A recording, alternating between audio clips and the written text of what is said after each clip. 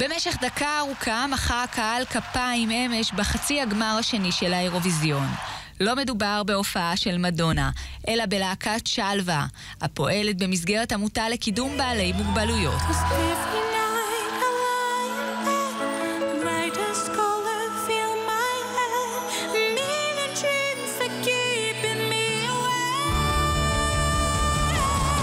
שרו את השיר מיליון חלומות וזכו לאהדה רבה, לא רק בקרב הקהל באולם אקספו. They really are magic.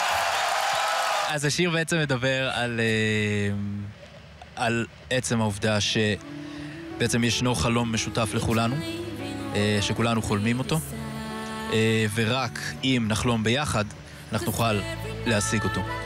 התגובות בעולם נלהבות, ה-BBC צייצו בטוויטר כי להקת שלווה היא רק אחת ממיליון סיבות לכך שהאירוויזיון הוא המופע הגדול ביותר.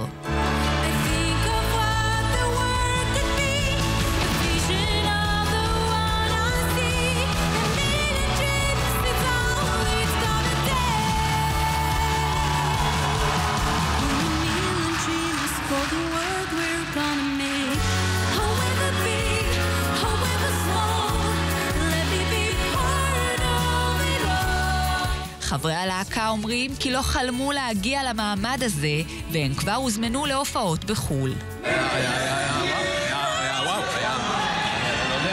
החלום האמיתי הוא שזה בעצם להשקיע בשירים החדשים שהולכים לקרות. ויש לנו עוד כמה שירים שמחכים לנו, ואנחנו ממשיכים גם לכתוב ולייצר.